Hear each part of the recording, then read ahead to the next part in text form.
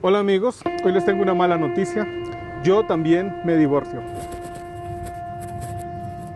Eh, mi amor, eh, Reina, coge un cuchillo y ponga cara de brava. Es que es para la miniatura del video. Cara, ¡Uf! divorcio. ¡Ah! Cool. Hablé con mi esposa hace como una hora y no me ha dicho nada. Pero yo creo que no nos vamos a divorciar. Pero sí ya nos divorciamos. Tanto ella ya vivió un divorcio como yo también ya hace algunos años me divorcié. Y aprovechando que es un tema que está como de moda últimamente, pues quiero contarles mi experiencia. Porque la verdad los divorcios aquí son un poco diferentes a como son en Latinoamérica.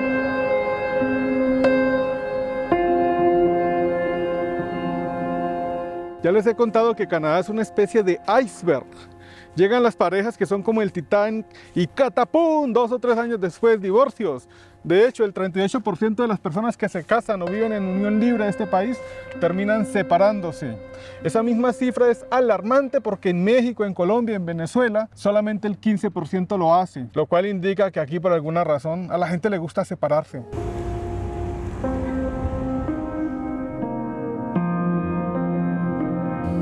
Pero de eso no vamos a hablar, vamos a hablar de lo que uno gana y de lo que uno pierde, porque también se pierde, de cómo es la vuelta, de cuánto vale, cuánto se ganan los abogados por cada divorcio y cuánto dura, qué necesito para divorciarme si lo quiero hacer cuanto antes.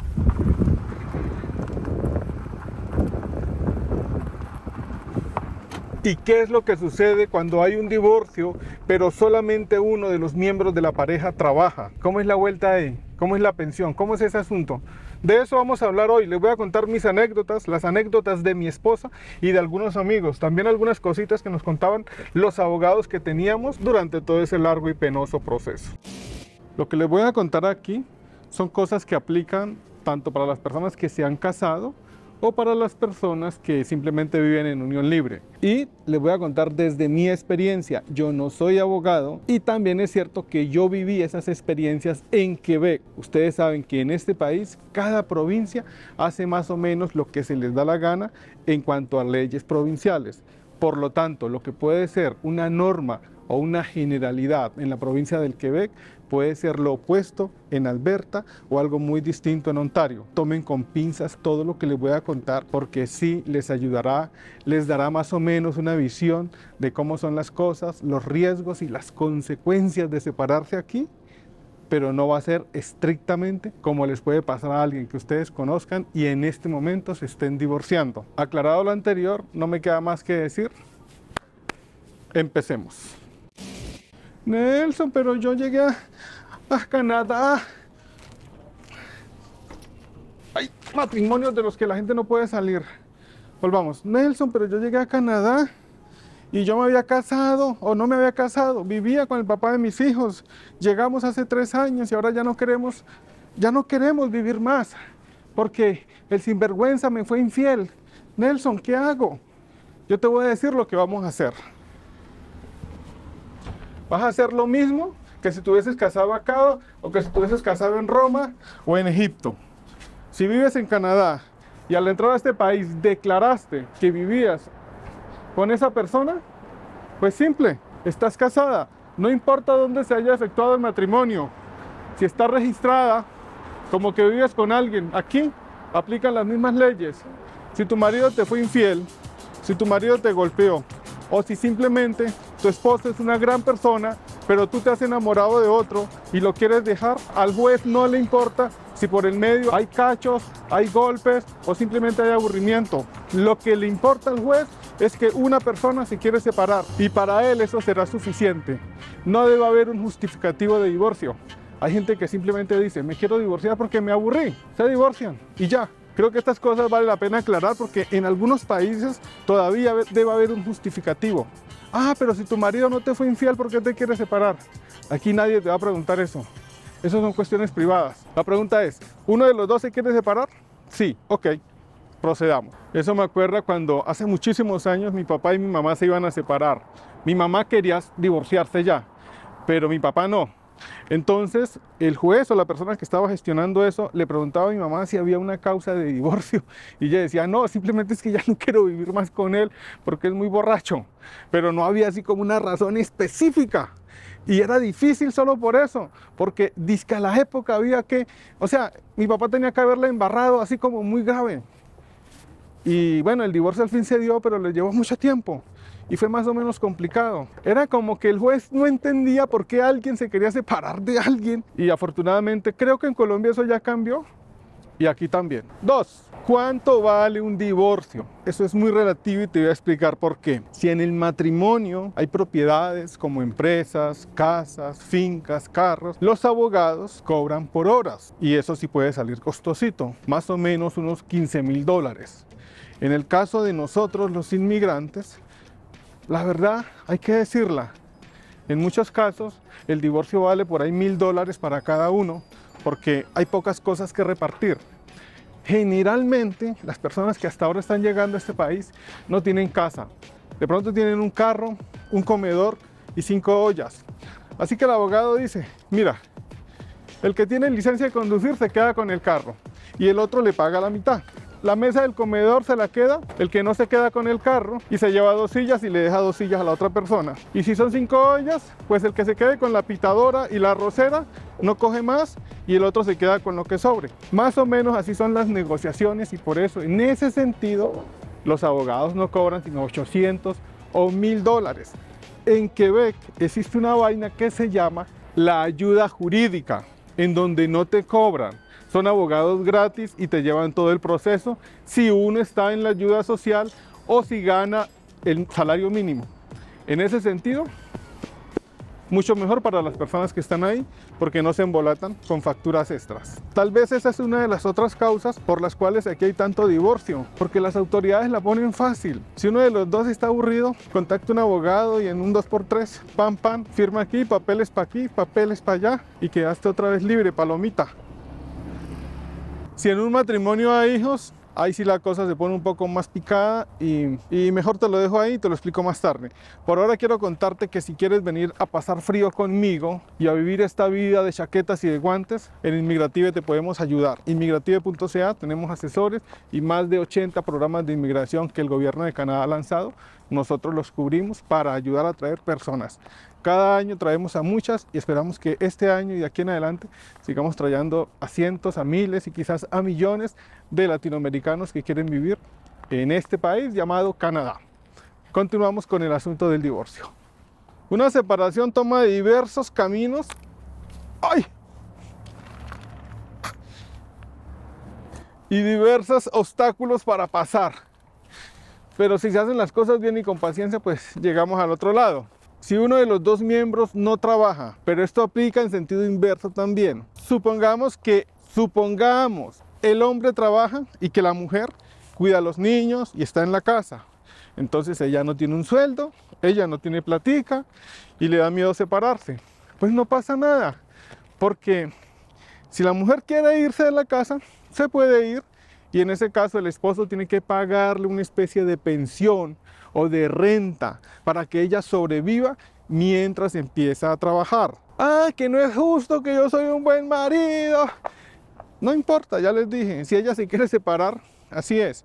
El juez va a determinar esa cantidad de dinero y por lo general se busca algo que sea equitativo. No se le va a dar 300 dólares porque la renta vale 1200. Eso no va a ser de por vida hasta que ella empiece a valerse por sí misma. Si ella se quiere quedar en la casa, pues ahí se negocia quién se queda y quién se va. Eso es un asunto que se puede hacer por las buenas o por las malas y un juez lo determina. Si hay niños, ahora sí, si hay chiquitines, vamos allí. Lo primero es determinar quién se va a quedar con el niño o con los niños. Por defecto, los niños quedan en guardia compartida. Por ejemplo, en mi país, cuando hay una separación, por defecto, el niño queda con la mamá. Si el papá los quiere, tiene que pelearlos. Tiene que ir a demostrar un montón de cosas. Y si la mamá no quiere, es difícil que gane. ¿eh? Así están las cosas en Colombia. Pero aquí pues no. Cuando hay una separación automáticamente el niño va 50% con ella y 50% con él. En ese sentido, aquí mucha gente se estrella. Cree que porque se separaron de una se van a quedar con los niños y por ahí van a molestar al marido, digo al ex, y lo van a atormentar, que no se los dejo ver. No, señor. digamos, el esposo trabaja o ella trabaja y no puede o no quiere hacerse cargo de los menores, al menos del 50% del tiempo, pues ya puede entregar ese derecho y ahí entra a negociar. Dicen 70-30, 80-20 o full time con ella o con él y la otra persona tiene acceso los domingos. Generalmente se buscan que esos acuerdos se hagan de buena manera, todo en beneficio del menor. Si no se hacen de buena manera y si el juez determina que los dos lo que quieren es joderse y que quieren lastimarse y que el chinito coma pepitas así como esa ardilla, pues el juez les quita el niño y se lo da a servicios sociales y pailas. Cuando el que trabaja sigue trabajando y la persona que cuida a los niños sigue encargada de su casa, pues ahí va a recibir una pensión un poco mayor porque también va la manutención del chiquito. He sabido de casos de gente que se gana 10 mil dólares, pero por el asunto de los niños, de la esposa, de la separación, 6 mil dólares van para ellos, directico. El Estado se los quita por derecha y 4 mil dólares quedan para él. Todo es relativo, todo depende y no se puede establecer una regla. Pero esos son los casos que yo vi o que yo oí. Así que vayan cogiendo notas. Casarse es muy fácil. Separarse también. Pero salir con vida de una situación de esas que suele ser dolorosa, como el pajarito pichón. Sale con vida del nido pero sin plumas. So, so, tú me vas entendiendo. Cuando mis papás estaban divorciando, obviamente yo quería pues estar con mi mamá. Porque ella me consentía y yo era el niño chiquito de la casa. Y de verdad que estar con la mamá pues era como muy beneficioso para mí. Yo adoraba a mi papá, pero yo no quería vivir con mi papá. De todas maneras, para ellos estaba claro que yo iba a vivir con mi mamá, pero para mí no. Entonces mi mamá a cada rato me chantajeaba y me decía, Nelson, pórtese bien o lo mando con su papá. Y yo me portaba bien, o sea, yo vivía asustado. Pues bien, si mi mamá, mi papá y yo estuviésemos acá en esa época, mi mamá probablemente estaría en la cárcel. en la cárcel por el daño psicológico que me, que me estaba haciendo. A lo que voy es que las cosas que se hacen en la TAM, aquí puede ser que no sea tan buena idea que las hagan, porque en serio las autoridades están ahí para favorecer a los menores. So, no se vale dárselas de muy machito, de muy listo, de que yo los paré, de que yo les he dado todo. Ese cuentico aquí, mm, mm, mm, cuidadito. Lo digo en serio y con humildad porque he visto gente que ha aprendido esa lección por las malas. Y no es bueno aprender por las malas cuando se trata de los propios hijos de uno. O cuando estás en otro país. Por cierto, el cartel de allí con la ardilla me engañó porque... ¿Saben por qué? Tienes razón, las ardillas de esta ciudad son negras y la de allí era de las otras. Otra cosa que hay que aclarar, pero ya es una cuestión cultural, en las separaciones de latinoamericanos suelen haber problemas. Como decimos en mi pueblo, sale a volar miércoles para el zarzo. Pero en las separaciones de canadienses, la cosa en general es más civilizada. Porque amigos, los canadienses son así, mira. Fríos. Y nosotros somos pura candela a la hora de negociar un asunto de esos, ellos la sacan más fácil. Esto no es un consejo ni es nada, es simplemente una descripción de las cosas que uno ve acá. Y para que te prepares por si algún día estás en esa situación y tu pareja es de Latinoamérica. Coge nota, carajo. Sinceramente deseo que nunca estés en esa situación, pero si lo estás, más o menos ya sabe cómo es que van a estar las aguas del río cuando la piragua empiece a tambalear calculo que un divorcio bien llevado en plazos normales puede durar tres meses, quizás un poco menos, pero una separación mal llevada puede tardar muchísimo más. Al final, si el juez se cansa y ve que uno no avanza en la separación en los arreglos, si ve que uno no se pone de acuerdo, el juez corta por lo sano y dice, ¿sabe qué? Se acabó y se hace lo que yo diga. Punto. Recuerden, lo que les estoy diciendo no es palabra de abogado, son historias de personas que me han contado puede haber información falsa y te digo esto porque seguro me he equivocado en algunas cosas, pero ya saben, les estoy advirtiendo que no es información 100% fidedigna. Además, les estoy hablando de las experiencias recogidas en Quebec. aquí tal vez la cosa sea distinta. Recuerdo y recuerdo, yo no sé por qué insisto tanto en esto. Bueno, ya me acordé por qué. Es porque muchas personas esperan que uno se equivoque en una cosa para empezar a atacarlo. Por ahí corre el rumor que uno aquí, al ser hombre, se ve perjudicado y que las mujeres beneficiadas. A mí me parece que no es así. O sea que desde el punto de vista de los que siempre trabajan, pues parece una desventaja. Pero si la mujer fuera la que trabajara y si fuera el hombre que estuviera al cuidado de la casa y de los niños, la cosa sería idéntica. Ella sería la que tendría que pagarle al hombre una especie de pensión. ¿Cuándo no se paga la pensión? Según lo que entendí, la pensión no es necesaria pagarla si la mujer se va con otro. Por los hijos sí hay que pagar pensión, pero si ella tiene, a, tiene un novio, pero no vive con él, ahí sí hay que pagar pensión. Cosas de la ley.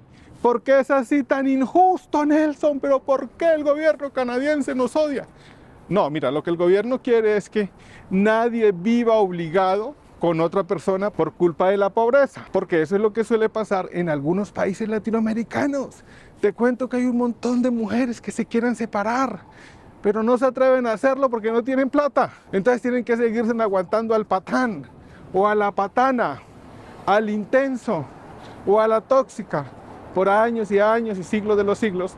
Entonces aquí el gobierno lo que desea es que la plata no sea un problema, separados o divorciados sean felices. ¿Listo? ¿Qué, ¿Qué opino del famoso divorcio que está sucediendo en estos momentos y que tiene paralizada a la comunidad latinoamericana que quiere inmigrar a Canadá? No tengo ninguna opinión porque no me importa. Algún día, si tú inmigras a Canadá, este tipo de cosas no te van a importar.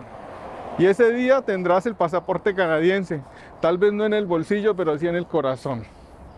No es que eso sea bueno, no es que sea malo, es simplemente que es algo inherente a Canadá tal y como lo es el frío, los guantecitos durante los meses de enero, febrero y marzo, y también como es el hecho de que cuando estés hablando y caminando en pleno invierno canadiense se te cabe el aire, porque es muy frío y te arde la garganta solo de respirar.